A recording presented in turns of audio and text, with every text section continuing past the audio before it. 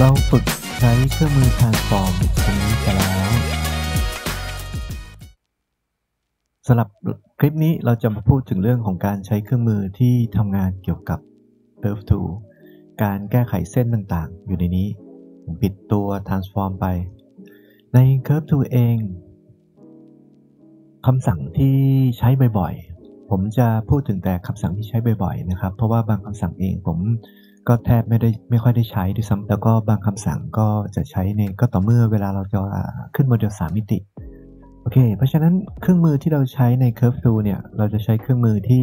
ช่วยในการเขียนแบบนะครับ เป้าหมายคือเราช่วยในการเขียนแบบ 2 มิติ หรือว่าเขียนแบบแบบล่างก่อนที่จะเอาไปขึ้นโมเดล 3 มิตินั้นเราจะใช้เครื่องมือที่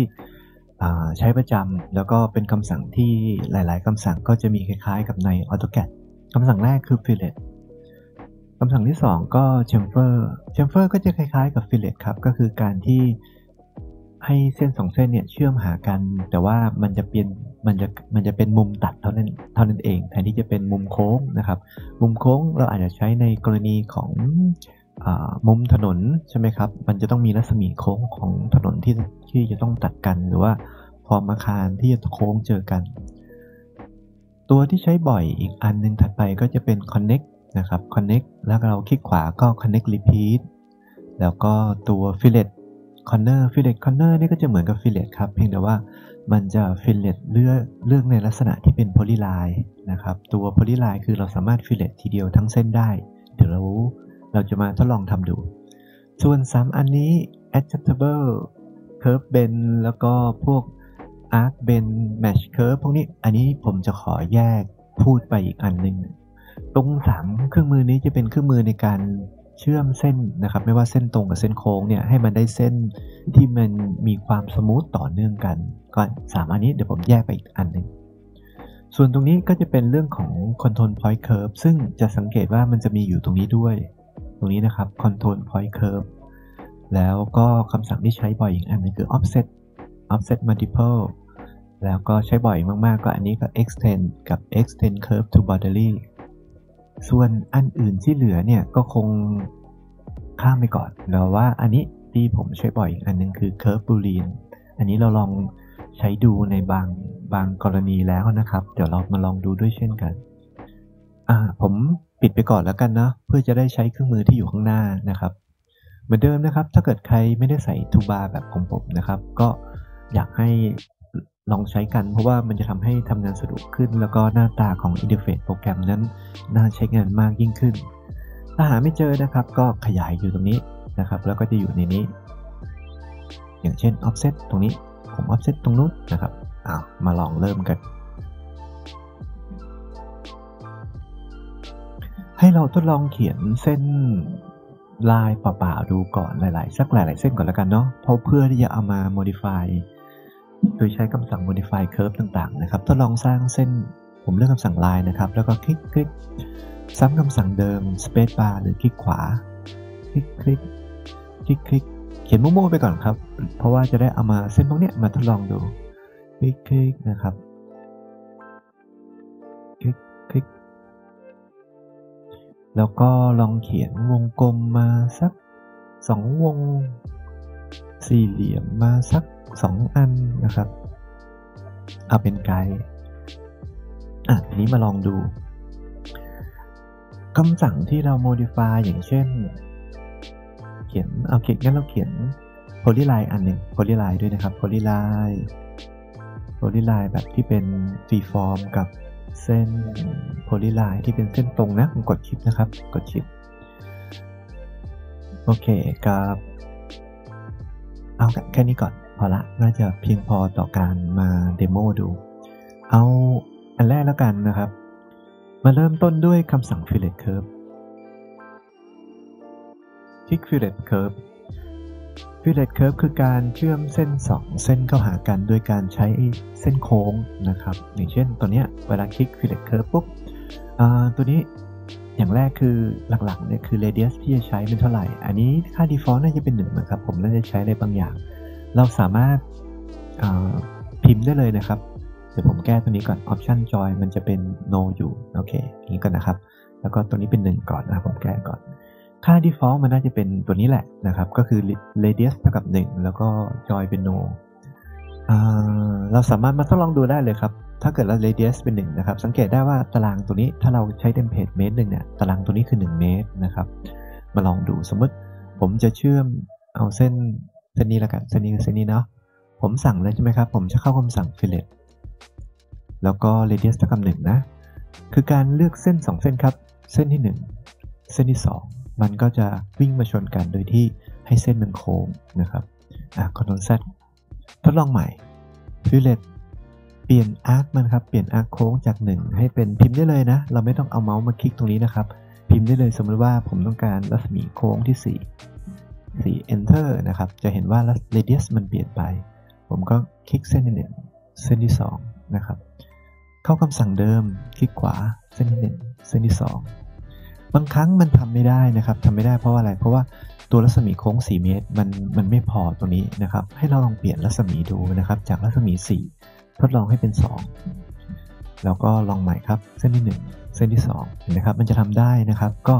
บางครั้งถ้ามุมของเส้นหรือว่าระยะของเส้นเนี่ยมันไม่พอที่เราจะใช้รัศมีนั้นมาใช้ เราก็ต้องแก้รัศมีให้มันเล็กลงนะทีนี้มาดูนิดนึงครับ เวลาตัวเราใช้ fillet ตัวนี้เนี่ยสังเกตอย่างหนึ่งเนาะตัวนี้มันจะมีให้แค่คลิกซ้ายเท่านั้นนะครับ แต่ถ้าเราขยายออกมาแล้วเราเอาเมาส์มาวาง fillet ตัวนี้อ้าวมันคลิกขวาได้ด้วยฮะนะครับเพราะไม่งั้นถ้าเรา fillet ตัวนี้นะครับ มันจะ fillet แค่ ทำแค่ครั้งเดียวแล้วก็จบคำสั่ง เราต้องมาซ้ำคำสั่งโดยการ space bar หรือคลิกขวา แต่ถ้าเราเลือกคลิกขวาตัวนี้นะ fillet curve repeat นะครับ เราก็จะสามารถ fillet มันไปไปได้เรื่อยๆครับ fillet อันที่หนึ่งเลือกเส้นหนึ่งเส้นสองเส้นหนึ่งเส้นทางนี้แล้วกันเนาะสองทีนี้ดูเนาะตรงนี้มันห่างมันจะทำไม่ได้ก็จะเอาเส้นตรงนี้มา เส้นหนึ่งเส้นสองทำไปได้เรื่อยๆเลยนะครับ ถ้าเราใช้ fillet ที่อะไรนะ fillet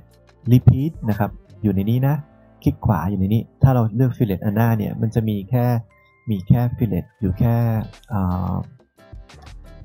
อยู่แค่คลิกได้ครั้งเดียว แล้วเราต้องซ้ำคำสั่ง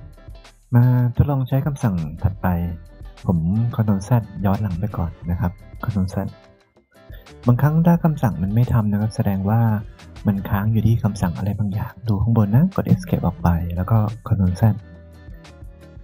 โอเค มา ทีนี้คำสั่งถัดไปนะครับ เราทดลอง fillet แล้วมาทดลองตัวคำสั่งอีกตัวหนึ่งที่คล้ายกันคือ chamfer นะทดลองดูครับ คลิก chamfer มันก็จะคล้ายกับ fillet แต่ผมแก้ตัวนี้เป็นก่อนนะ distance เท่ากับ 1 1 ก่อน โอเค ค่า default นะครับ ตัว distance มันจะเป็น 1 1กับ1มาลองดูนะง่าย ๆ ตัวนี้ที่เดิม เส้นที่ 1 เส้นที่ 2 แสดงว่าตรงนี้คืออะไรครับ คือมันเอาระยะตรงนี้1เมตร แล้วก็ระยะตรงนี้ 1 เมตรนะครับกนูแซดมาดูเส้นตรงๆแล้วกัน มาทดลองกับตรงนี้แล้วกันเนาะ fillet นะครับ คลิกคลิก1 1เห็นไหมครับอะ control Z กลับไป ทีนี้ถ้าเราต้องการให้มันต่างกัน เช่น สมมติว่าผมต้องการให้ด้านหนึ่งเป็น 3 ด้านหนึ่งเป็น1แล้วกันเนาะทดลองดู เข้าคำสั่ง chamfer แล้วก็คลิกที่ distance ครับ ตรงนี้มันจะเป็น1 1ใช่ไหมครับ ให้เราเลือกตรงนี้นะครับ แล้วเราก็สมมติว่าด้านที่เราเลือกด้านแรกให้เป็น 1 enter ผ่านไป ด้านที่ 2 ที่เราต้องการเลือกให้เป็น 3 พิมพ์ 3 enter มันจะเปลี่ยนเป็น 1 กับ 3 ถูกไหมครับ แล้วมันก็ให้เราเลือกเส้นที่ 1ให้เราจำไว้นะครับหรือว่าเราดูตรงนี้ก็ได้ว่าเส้นเลือดเส้นที่เราเลือกเป็นเส้นแรกมันจะเป็นระยะเท่ากับ1 สมมติผมอันนี้ 1 อีกด้านนึงคือ 3 ตรงนี้ระยะตรงนี้มันคือ 1 แล้วก็ระยะตรงจากจุดเดิมของมันมาถึงตรงนี้คือ 3 นะครับทดลองอีกครั้งหนึ่งสมมติว่าผมต้องการตัวนี้ 1 ตัวนี้ 3 เห็นไหมครับ ก็จะเปลี่ยนไป โอเค กันเป็นคนซัดกลับไป เหมือนกันเนาะมันก็จะมี chamfer repeat นะครับ ก็สามารถทำซ้ำไปได้เลยนะครับสตัวนี้เรารู้แล้ว fillet กับ chamfer ถัดมาทดลองคำสั่ง connect connect คือการสร้างเชื่อมเส้น 2 เส้นให้มันให้มันวิ่งเข้าหากันเป็นมุม ก็คล้ายๆกับ fillet แหละที่เป็นองศาศูนย์ใช่ไหมครับ เราสามารถใช้คำสั่ง fillet ได้เช่นกันนะ ถ้าเราใช้ fillet แล้วเราใช้รัศมีเป็นศูนย์ก็จะเหมือนกับ connect เช่นกัน แต่ว่าใช้คำสั่ง connect ดูครับ connect จะอยู่ตรงนี้ถูกไหม แต่ว่าผมดึงมาใช้ตรงนี้เนาะเพราะว่าคิดว่าน่าจะใช้บ่อยเหมือนกันตัวนี้นะครับ ให้เรา เหมือนกันเนาะ connect ก็จะมีคลิกซ้ายคลิกขวานะครับคลิกซ้ายก็ connect คนนึ่งแล้วก็ต้องมาสั่งคำสั่งใหม่ แต่ถ้าเราคลิกขวาก็เป็น connect แล้วก็ repeat มาดูตัวตัวผมเลือกจากไอคอนข้างนอกที่ผมเอามาวางไว้นะครับ ตอนนี้ผมคลิกซ้ายนะ connect connect เส้นไหน connect เส้นนี้กับเส้นนี้ มันก็จะวิ่งเข้าหากันนะครับ แล้วก็ไม่ไม่มีมุมรัศมีหรือว่าเป็นมุมปาดเท่านั้นเอง เข้าคำสั่ง connect เหมือนเดิม connect มุมนี้กับมุมนี้ก็จะวิ่งหากันนะครับ ทีนี้ถ้าเราคลิกขวา connect repeat เราก็จะสามารถ connect connect ต่อไปได้เรื่อยๆนะครับ connect ตรงนี้เอาไหนอีกดีอันนี้อันนี้แล้วกันนะครับ connect ไปได้เรื่อยๆ จนกว่าเราจะจะจะจบคำสั่ง space bar หรือคลิกขวาอะผมคอนโทรลซกันไปก่อนคำสั่งถัดไป ก็จะเป็นคำสั่ง fillet corner นะครับ fillet corner เนี่ยก็จะคล้ายกับคำสั่ง fillet แต่ว่ามันจะสามารถทำ fillet ได้ทีเดียวทั้งเส้นนะครับ ก็สะดวกดีทดลองดูนะครับ fillet fillet corner นะครับ แล้วก็เลือกเส้นที่ต้องการ fillet ก็เส้นนี้เนาะนะครับ เส้นนี้เส้น polyline ใช่ไหมครับ แล้วก็เลือกเสร็จแล้วคลิกขวาหรือ enter หรือ space bar ทีนี้มันให้เราเลือกรัศมีครับ สมมติผมต้องการรัศมีที่ 2 แล้วกัน2 enter มันก็จะ fillet ให้ทีเดียวครับ ทั้งหมด ก็ใช้ได้กับ polyline แล้วก็สี่เหลี่ยมอะไรที่มันเชื่อมต่อกันนะครับ เส้นต่อกันลองอีกครั้งหนึ่งนะครับ เส้นนี้ ถ้าเกิดรัศมีผมแก้เป็นสี่อะทดลองนะครับปุ๊บก็จะเปลี่ยนได้เลยผมคอนโทรลแซกลับไปก่อนคำสั่งถัดไป แล้วก็ตรงนี้ไว้ด้วยก่อน ดูตัวนี้นะครับ เรื่องของ Control Point โอเค มาเริ่ม Control Point ดู Control Point ค่อนข้างมีประโยชน์นะฮะ สังเกตดูอย่างหนึ่งนะ สมมติว่าผมกด Escape ไปก่อน ถ้าผมเลือกเส้นใดเส้นหนึ่ง ผมเลือกเส้นเดียวนะ เส้นนี้นะครับ เส้นหนึ่ง มันจะมีจุดเห็นไหมครับ จุดตรงหัวท้าย นี่คือจุด Control Point แต่ถ้าผมเลือกมากกว่า 1 เส้น จุดเส้นที่ 1 ผมกดชิปนะครับ เส้นที่ 2 ส้นที่หนึ่งเส้นที่สองมันจะเปิดจุดให้อยู่นะครับนะครับ ถ้าเราเลือกทีละเส้นแบบนี้เปิดให้นะครับ แต่ถ้าเกิดเราเลือกแบบ crossing แบบนี้นะแต่ผมเลือกแบบนี้นะครับปุ๊บมันเลือกเส้นให้นะครับ แต่ว่า control point ไม่เปิดนะครับ control point มีประโยชน์ยังไงอะผมลองเลือกเส้นเดียวก่อน control point เราสามารถ move control point ได้นะครับ เราเลือกพอมันเปิดนี้ปุ๊บนะครับ ให้เราเลือกคลิกจุด ตอนนี้มันจะเลือกจุดให้นะครับ แล้วเราเข้าคำสั่ง move แล้วเราก็ move จากตรงนี้มาตรงนี้นะครับ ก็คือเราสามารถขยับปลายเส้นต่างๆได้ ถ้าผมกดชิปนะครับ กดชิปนะ กดคลิกเลือกก่อนตัวหนึ่งแล้วกดชิปเลือกหลายอัน มันก็จะเปิด control point ขึ้นใช่ไหมครับ แล้วสมมติถ้าผมต้องการ move control point ตรงนี้นะครับ ผมใช้คำสั่ง move แล้วก็ผม เลือกโอเคไม่ได้ ถ้าอย่างนี้ไม่ได้นะ ถ้าอย่างนี้มันจะเลือกทั้ง Object นะครับ เอาใหม่ เลือกก่อน เลือกก่อนนะครับ เลือก Control Point ที่ต้องการ Move ก่อน ผมเลือกแบบ window แบบนี้ มันก็จะเลือกจุด 2 จุดนี้นะครับ ผมเลือกแบบ window นะ เห็นไหม ผมเลือกแบบนี้นะครับ Control Point 2 จุดนี้จะถูกเลือกขึ้น แล้วก็ใช้คำสั่ง Move Move จากจุดไหน จุดนี้มาจุดนี้นะครับ ก็จะ Move ได้ Move ทีละ Control Point ก็ได้ครับ Control Point อ๋อนี่ละกันนะ ผมต้องการให้ Control Point ตัวนี้มามามาอยู่ตรงนี้นะครับคำสั่ง move snap ที่ปลายนี้มาไว้มุมนี้ ส่วน control point ตัวหนึ่งนะครับ เดี๋ยวตรงนี้เดี๋ยวพอเราทำพูดถึงเรื่องเส้นโค้ง เส้น curve ต่างๆ เดี๋ยวค่อยมาพูดถึงตัวนี้กันนะครับตัวนี้คำสั่งถัดไปคำสั่งถัดไปก็คือ offset โอเค offset ผมดึงมาไว้แล้วข้างนอกนะครับ เพราะว่าใช้บ่อยมาก offset คือตัวนี้นะครับ คลิกซ้ายจะเป็น offset 1 ครั้ง ถ้าเป็นคลิกขวาก็จะเป็น multiple offset มาลองดูนะครับ offset ก็คือคล้ายๆกับ copy แหละ แต่ว่ามัน offset ก็คือการ copy เส้นไปให้มันขนานกับเส้นเดิมมาทดลองดูนะครับ ผมคลิกซ้ายแล้วกัน offset ทีเดียวปุ๊บนะครับ distance ครับ ดู distance ตรงนี้นะ สมมติว่าผมต้องการระยะ distance เท่าไหร่ตารางนี่คือเมตรหนึ่งนะครับ สมมติผมต้องการ distance ที่ 5 enter ตรงนี้มันจะเปลี่ยนเป็น 5 นะครับ แล้วเราก็เลือกเส้น แล้วก็ต้องการผลักไปด้านไหนนะ offset ไปด้านไหนก็เลือก เรายังเปลี่ยนได้นะครับ สมมติว่า 5 แล้วเรารู้สึกห่างไปหรือใกล้ไปเปลี่ยนเปลี่ยนได้นะครับ สมมติผมต้องการเปลี่ยนเป็น 2 ผมก็พิมพ์ 2 มันก็จะเปลี่ยนให้เห็นไหมครับ2 enter เนาะมันจะได้เอาค่าตัวนั้นไปก่อน แล้วสมมติถ้าเปลี่ยนอีกเปลี่ยนเป็น 3 enter นะครับ เปลี่ยนได้เลย แล้วก็คลิกด้านที่เราต้องการ คลิก นะมาดู offset อีกทีหนึ่งทีนี้ดูนิดนึงนะครับ ถ้าเราเลือกเส้นปุ๊บมันเป็น 3 ถูกไหมครับ ด้านใดด้านหนึ่ง แล้วมีออปชันครับ สังเกตดูนิดนึงนะ มันจะมีออปชันว่า both side ถ้าลองดูนะครับ both side ปุ๊บ มันจะ offset ไป 2 ฝั่งนะครับอะมาลองใหม่ เส้นนี้แล้วกัน offset เดือกก่อนหรือหลังก็ได้ถูกไหมครับ both side มันจะทำครั้งเดียวนะครับ ถ้าเราต้องการ both side ก็มาคลิก both side อีกทีหนึ่งแต่ทีนี้อยากให้คุณดูนี้นิดนึงครับ ตัว cap ตัวนี้นะแคปคือปิดหัวท้ายมันเป็นนอนอยู่ ถ้าเราเลือกเข้าไปข้างในมันจะมีให้เราเลือกอีก 2 อันก็คือแฟลตกับแฟลตกับลาวนะครับ ถ้าผมเลือกแฟลตมันจะปิดหัวท้ายให้เห็นไหมครับ ก็คือเราก็ไม่ต้องเสียเวลาในการมาปิดอีกทีหนึ่งนะครับ ถ้าเราเปลี่ยนตัวcap ตัวนี้ให้เป็น round มันก็จะมนโค้งให้นะครับ สมมติว่าผมต้องการ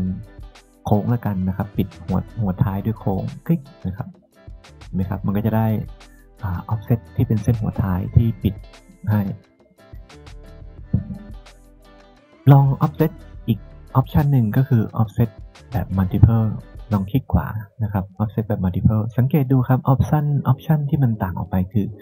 ตัวจำนวนนะครับ ตอนนี้เราสามารถเลือกได้ว่าเราต้องการให้มัน offset ไปกี่เส้นอย่างเช่นผมต้องการ offset ไปอีกอ่า10เส้น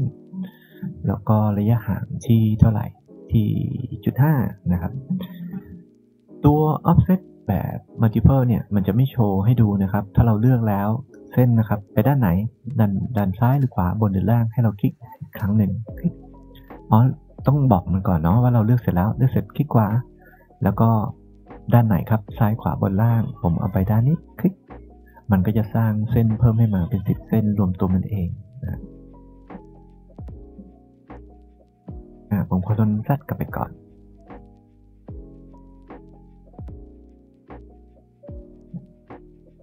control Y นะครับ บางครั้งคอนโทรล Z เยอะเกินใช่ไหมครับ อย่างเงี้ยผมก็ control Y กลับมานะครับคำสั่งถัดไปเกี่ยวกับเกี่ยวกับการ modify เส้นก็คือ extend curve กับ extend to boundary นะ ต่างกันยังไงนะครับ ผมดึงมาไว้ข้างนอกตัวนี้นะครับ มันจะมีตรงนี้ยังข้างหลัง option อีกช่างมันก็คือ เราเลือกแต่ตรงนอกแหละ คลิกซ้ายคือ extend curve คลิกขวาคือ extend to boundary มาลอง extend curve ก่อน คลิกซ้ายนะครับ แล้วเราเลือกเส้นครับ เวลาเราเลือกเส้นเนี่ย เราสามารถดึงเส้นออกไปได้ ถ้าเป็นเส้นโค้ง ผมเขียนเส้นโค้งง่ายๆมาอันหนึ่ง เส้นโค้งหรืออาร์ก็ได้นะครับ จะเหมือนกัน อย่างนี้นะปุ๊บ แล้วผมเลือก extend curve แล้วผมก็เลือกเส้นปุ๊บ ผมจะสามารถต่อเส้นออกไปได้ฝั่งนี้ก็ได้เช่นกัน โอเค นี่คือ extend curve แล้วถ้า extend to boundary ล่ะผมกด escape ไปก่อน ลองคลิกขวานะครับ มันจะให้เราเลือก boundary ก่อน อย่างเช่น ผมจะให้เส้นนี้นะครับ วิ่งมาชนเส้นนี้นะครับ ผมก็ต้องเลือกแนวที่มันจะวิ่งไปชนก่อนคือแนวนี้ เลือกเสร็จแล้ว space bar หรือคลิกขวา แล้วเราก็เลือกเส้นที่วิ่งไปชน เราสามารถเลือกได้มากกว่าหนึ่งเส้นนะครับ เห็นไหมครับ ก็ตรงนี้นะครับ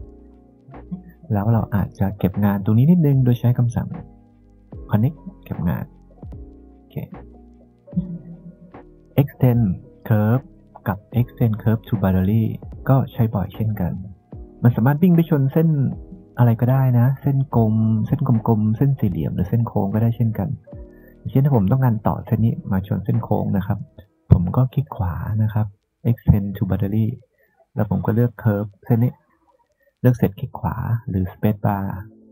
เลือกเส้นที่ต้องการวิ่งไปชน มันก็จะวิ่งไปชนเส้นขอบให้ แล้วก็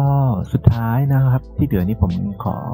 ข้ามไปก่อน ผมก็จะเลือกขอสุดท้ายที่ตัว curve boolean curve boolean เราทดลองทำแล้วนะ มีประโยชน์มากนะครับ สมมติว่าผมเปิด grid snap ขึ้นมา แล้วผมลองสเก็ตกรอบอาคารสักอันหนึ่งสุด ผมมีอาคารอันนึงขนาดสัก10คูณ5เมตร มีห้องเล็กๆ ตรงนี้ 5 เมตรคูณ4เมตรนะครับ แล้วก็ผมมีอาร์กลมๆ ถ้าอาร์เขียนเสียเวลานะผมก็เขียนวงกลมตัวนี้ทุตรงปลายตัวนี้เป็นห้อง เป็นห้องอันนึงที่จะมีวงกลมอยู่ แล้วก็มีอะไรอีก มีปลายแหลมตรงนี้ยื่นออกไปนะครับ ให้มันสี่ห้าองศาเนาะแล้วอันนี้แล้วกันตึ๊ดโอเคอะคือการออกแบบไอเดียเบื้องต้นว่าเอ้ยมันจะมีตรงนี้นะ มีตรงนี้เอามาต่อเล็กๆอันหนึ่งแล้วก็ตรงนี้จะเป็นบันไดสมมติ โอเค สมมติเชฟอาคารเราเป็นแบบนี้ใช่ไหมครับ แล้วเราสามารถสร้างจากชิ้นเล็กๆได้นะครับ มาประกอบกัน แล้วเราเลือกคำสั่งเคอร์บูลีนนะครับ เลือกออฟเส้นก่อนก็จะเร็วกว่า เลือกเส้นทั้งหมดก่อน ผมเลือกแบบ crossing ก็จะเลือกเส้นทั้งหมด แล้วก็ใช้คำสั่งเคอร์บูลีนแล้วก็เลือกเส้นภายใน ถ้ามันบางครั้งมัน snap ยากนะครับ ก็ปิดกิจ snap ไปก่อน แล้วก็อันนี้เอาด้วยอันนี้ด้วยอันนี้ด้วยนะครับ แล้วก็ delete delete input ไหม delete ต้นฉบับไหมนะครับ ตอนนี้สมมติผมไม่เลือก delete นะครับ ผมก็คลิกขวาจบคำสั่ง มันก็จะสร้างเส้นอีกมาอีกเส้นหนึ่งครับ เวลาชิ้น object rhino นะครับ เส้นมันซ้อนกันเนี่ย มันจะถามว่าเราจะเลือกเส้นไหน ให้เราเอาเมาส์มาแตะตรงนี้ครับ ขยับดูว่าเราต้องการเส้นไหน มันจะไฮไลท์เป็นสีชมพูนะครับ สมมติผมต้องการเส้นนี้นะ คลิก แล้วก็ผม move มันออกมา move มันออกมาตรงนี้เห็นไหมครับ ตรงเนี้ยการใช้คำสั่ง curve boolean ผมปิด F7 ปิดกิจไปก่อน มีประโยชน์มากนะครับในการที่เราจะขึ้น Object ที่มีความซับซ้อนขึ้น แต่ว่าเราใช้รูปทรงง่ายๆ มาประกอบกัน ส่วนคำสั่งอื่นๆ ในหมวดของ curve tool ตัวนี้นะครับการการ modify curve เนี่ย อันอื่นเนี่ย ใช้ไม่ค่อยบ่อย แล้วก็บางอันใช้ก็ต่อเมื่อเราจะเริ่มใช้งานตอนที่เราจะทำสามมิติหรือเครื่องมืออะไรบางอย่างที่เป็นเครื่องมือเฉพาะนะครับ ตรงนั้นเดี๋ยวพอเราจะต้องใช้เนี่ยแล้วก็ตอนขึ้นสามมิติเนี่ยเดี๋ยวผมจะกลับมาพูดตรงนี้อีกส่วนหนึ่งแต่ว่าเครื่องมือที่ผมพูดไปเนี่ยแค่บางอันนะครับ แค่บางอันก็คืออันหลักๆเนี่ยที่ผมจะดึงมาไว้ข้างหน้าแล้วนะครับ ตรงเนี้ยใช้บ่อย fillet offset connect ใช่ไหมครับ X10 แล้วก็เคอร์คูลีนตัวเนี้ยตัวหลักละที่ต้องใช้ แล้วก็ที่เหลือก็มีนิดหน่อยในเนี้ยคุณก็ลองดูว่ามันอาจจะต้องเปิดเข้ามาใช้ข้างในบ้างนิดหน่อย